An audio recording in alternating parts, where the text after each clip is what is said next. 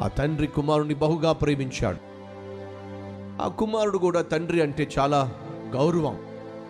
కాలేజీలో కష్టపడి చదివాడు. కాలేజీ ఫస్ట్ వచ్చాడు.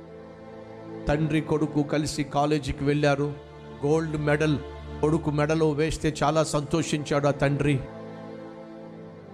అలా ఆ తండ్రి కొడుకు తిరిగి వస్తున్నప్పుడు ఒక కార్ షోరూమ్ ముందు నుంచి వస్తున్నాడు. అలా కార్ షోరూమ్ నుంచి ముందు నుంచి వెళ్తున్నప్పుడు డాడీ ఒక్క నిమిషం కారు ఆపుతారా? అన్నాడు. ఏంటన్నా కార్ షోరూమ్ చూసారా చూశాను. షోరూంలో వాళ్ళు డిస్ప్లే పెట్టిన కారు చూసారా చాలా బాగుంది. నా జీవితంలో ఎప్పుడు నేనేమి కోరుకోలా. డాడీ ఆ కారు నాకు గిఫ్ట్గా ఇస్తారా? డాడీ వైపు చూశాడు. ఏ మాట లేదు. అలాగే నాన్న అంటాడేమో ఆశించాడు. మాట రాలేదు. కొడుకు తలదించేసుకున్నాడు నా తండ్రి కష్టపడి చదవమంటే చదివాను. మంచి మార్కులు సంపాదించమంటే సంపాదించాను. నా తండ్రి ఏది చెప్పినా కాదనకుండా చేశాను. ఇప్పుడు కొడుకుగా ఒక కోరిక కోరితే వెంటనే నా తండ్రి సంతోషంగా అలాగే నాన్న అని చెప్పంటే ఏమిటి ఆయనకి నష్టం? తండ్రి మాట్లాడకుండా కారు నడిపించుకుంటూ ఇంటికి వచ్చేశాడు ఆ తండ్రి ప్రవర్తన చూసినటువంటి కొడుక్కి చాలా బాధ అనిపించింది.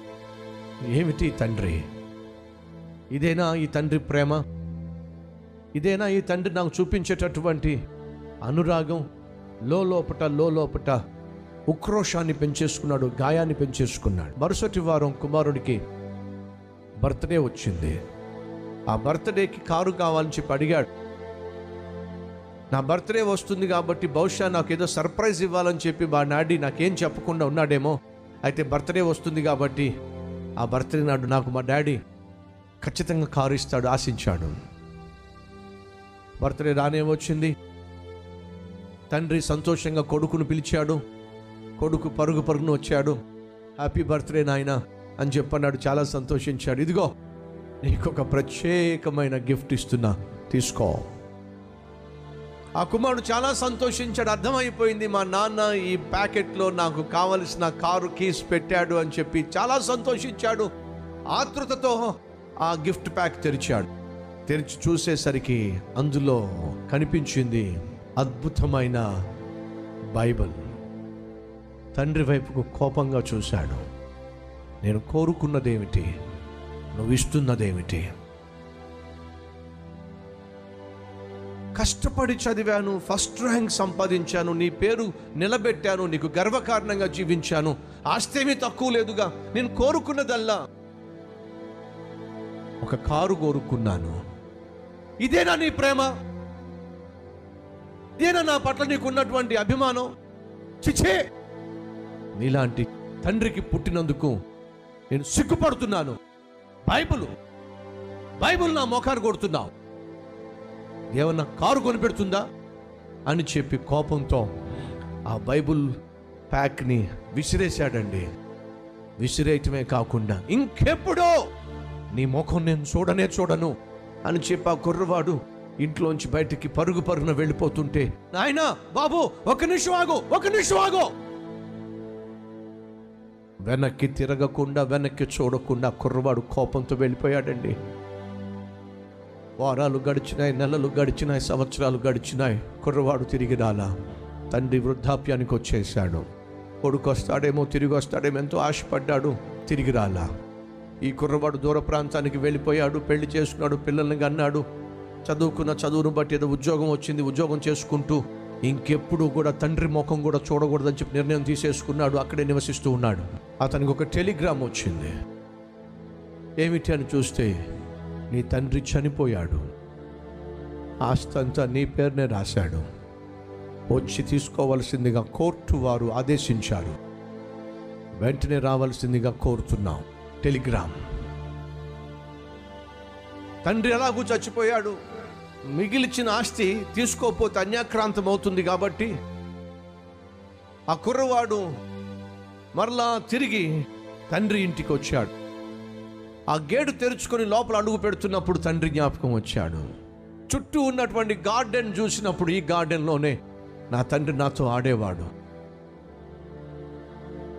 ఈ గార్డెన్లోనే నా తండ్రితో నేను ఆడేవాడిని ఇంట్లో అడుగు పెట్టిన వెంటనే తనకు డైనింగ్ టేబుల్ కనిపించింది. అక్కడే కూర్చొని నా తండ్రి నాకు గోరు ముద్దలు తినిపించేవాడు. అక్కడ సోఫా సెట్లు కనిపించినాయి. ఆ సోఫా సెట్లలో నా తండ్రి కూర్చోబెట్టుకుని ఒళ్ళో కూర్చోబెట్టుకుని నాకు ఎన్నెన్నో కథలు చెప్పేవాడు. ఒక్క కారు కొనే విషయంలో తప్ప నా తండ్రి నాకు ఎప్పుడు ఏ నోటు చేయలేదు. తండ్రి యొక్క జ్ఞాపకాలు ఆ కుర్రవాడి మధ్యలో మెదిలినప్పుడు కళ్ళల్లో నుంచి తనకు తెలియకుండానే జల జల కన్నీళ్ళు రాలుతూ వచ్చినాయి. ఆ తండ్రి లేనటువంటి లోటు ఒక్కసారిగా తనకు కొట్టొచ్చినట్టుగా కనిపించింది. నీరు గారిపోయాడు. అదే సమయంలో తాను ఒక అడుగు ముందుకు వేసేసరికి ఆ టేబుల్ పైన తాను విసిరి వెళ్ళిపోయిన ఆ బైబుల్ ప్యాక్ అలాగే విసిరినది విసిరినట్టుగానే ఉంది. దాన్ని చూసిన వెంటనే ఆ రోజు జ్ఞాపకం వచ్చింది. నా తండ్రి పుట్టినరోజున ఒక ప్యాక్ తీసుకొచ్చి గిఫ్ట్ ప్యాక్ తీసుకొచ్చి నాకు ఇస్తున్నప్పుడు నేను అనుకున్నాను ఈ ప్యాక్లో ఖచ్చితంగా నేను కోరుకున్న కారు కీస్ ఉంటాయి అని చెప్పి. కానీ నా కోరిక మన్నించకుండా మా నాన్న చేదస్తం పెట్టుకొని ఆ మత చేదస్తం పట్టుకొని నాకు బైబిల్ చేతిలో పడేశాడు. కోపంతో ఆ బైబుల్ని విసిరేసి వెళ్ళిపోయా. అప్పటి నుంచి ఇప్పటి వరకు ఆ బైబిల్ అక్కడి నుంచి తీని కూడా తీలా అని చెప్పి దగ్గరకు వెళ్ళాడు. ఆ బైబుల్ బాక్స్ని పైకి తెరిచాడు. అంతేకాకుండా కారు కొనిపెడతాడేమో అనుకుంటే మా డాడీ ఈ బైబుల్ను కొనిపెట్టాడు. ఈ బైబులేగా నన్ను నా తండ్రికి దూరం చేసింది అని అనుకుంటూనే ఆ బైబుల్ని పైకి లేపాడు. ఆ బైబుల్ని పైకి లేపిన తర్వాత కింద మరొక అర ఉంది. అందులో తను కోరుకున్న కారు కీసున్నాయండి అది చూసిన వెంటనే చేతులు కాళ్ళు వణికిపోయినాయి. ఏమిటి? ఇందులో కారు కీస్ ఉన్నాయి ఏమిటి? అని చెప్పి ఆ కారు కీస్ చూస్తే కింద ఒక చక్కని గ్రీటింగ్ ఉందండి. నాయనా నువ్వు ఎంతో ముచ్చటపడి ఆ కారు కొని పెట్టమన్నావు. నేను నువ్వు కోట్ల రోజునే వెళ్ళి ఆ కారు కొనేశాను. పూర్తిగా చెల్లించాల్సిన వెల కూడా చెల్లించేశాను. నీ బర్త్డేకి సర్ప్రైజ్ ఇవ్వాలని చెప్పి ఆ కారు కీస్ ఇందులో పెట్టాను. అదే సమయంలో ఈ కారు కంటే బహు విలువైంది నీ జీవితాన్ని నడిపించేది. ఈ పరిశుద్ధ గ్రంథము దీని నిర్లక్ష్యము చేయొద్దు నాయన. కారు అయితే నువ్వు నడిపించాలి. బైబుల్ అయితే నిన్ను నడిపిస్తుంది. ఇది నీకు కావాలి నాయనా. ఒక చేత్తో బైబుల్ని పట్టుకున్నాడు మరొక చేత్తో కారు కీస్ పట్టుకున్నాడు గజగజ వణికిపోయాడు ఎంత పని చేశాను? ఎంత తొందరపడ్డాను? పై పైనే చూసి నా తండ్రిని అపార్థం చేసుకున్నాను. పై పైనే చూసి నా తండ్రిని అపార్థం చేసుకుని నా తండ్రిని ఒక ద్రోహిగా భావించి ఈ ఇంటిలో నుంచి నేను వెళ్ళిపోయి అనాథగా జీవించాను. రేయింబగళ్ళు కష్టపడి పనిచేస్తూ నైట్ షిఫ్టులు చేస్తూ సరైన ఉద్యోగం లేక ఎండలో ఎండుతూ వర్షంలో తడుస్తూ చలికి వణికిపోతూ అన్నీ ఉన్నప్పటికీ ఇంత ప్రేమ కలిగిన తండ్రి ఉన్నప్పటికీ ఆ తండ్రిని కాదనుకుని నేను ఒక అనాథగా జీవించాను. తను అనాథగా జీవించిన సంవత్సరాలన్నీ తన కళ్ళ ముందు మెదులుతున్నప్పుడు ఎక్కి ఎక్కి ఏడ్చాడు. ఎంత పొరపాటు చేశాను నేను?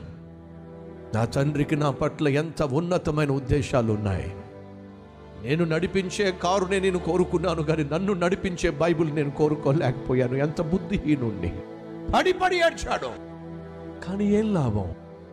ఇరవై ఇరవై ఐదు సంవత్సరాలు తండ్రికి క్షోభను పుట్టించి తనేమోను ఒక అనాథగా జీవించి విలువైన సమయాన్ని విలువైన కాలాన్ని తండ్రితో గడిపే సమయాన్ని పోగొట్టుకున్నాడు. రోజు మాటలు వింటున్న ప్రియ సహోదరి సహోదరుడా నీ పట్ల నా పట్ల నేను ప్రకటిస్తున్న దేవుడు ఉన్నతమైన ఉద్దేశాలు కలిగి ఉన్నాడు. నువ్వు అనుకున్నట్టుగా సమస్తము జరగకపోవచ్చు. నువ్వు కోరుకున్నట్టుగా సమస్తము నీ జీవితంలో నీ చేతికి రాకపోవచ్చు. అంతకంటే శ్రేష్టమైన దాన్ని దేవుడు నీ కోసం దాచిపెట్టాడు అనేది మాత్రం వాస్తవం. ఒకవేళ నీ జీవితంలో నువ్వు చేరుకోవాల్సిన గమ్యానికి చేరుకోలేక మధ్యలోనే కుప్పకూలిపోతున్నట్లయితే ఈరోజు ప్రభుతో ప్రభు నీతో మాట్లాడుతున్నాడు. లే! సాతాను మాటలు నమ్మతో సాతానుకు సాతాను యొక్క క్రియలకు నీ జీవితంలో శరీరంలో చోటు ఇవ్వతో నిన్ను చేర్చవలసిన గమ్య స్థానానికి చేర్చడానికి నేను నీకు తోడై ఉన్నాను. నా మాట నమ్మో. దేవుడు నీతో చెప్తుండగా మనలో ఎంతమంది దేవుని మాటకు లోబడి సైతానుకు గుడ్ బై చెప్పి దేవుడు నీ కోసం దాచిపెట్టిన శ్రేష్టమైనటువంటి ఆశీర్వాదాన్ని శ్రేష్టమైన భవిష్యత్తును శ్రేష్టమైనటువంటి గమ్యాన్ని చేరుకోవాలని ఆశపడుతున్న వారు ఉన్నట్లయితే నాతో పాటు కలిసి ప్రార్థన చేస్తారా? లెట్ ప్రే ప్రార్థన చేద్దాం. ప్రతి ఒక్కరు తలలు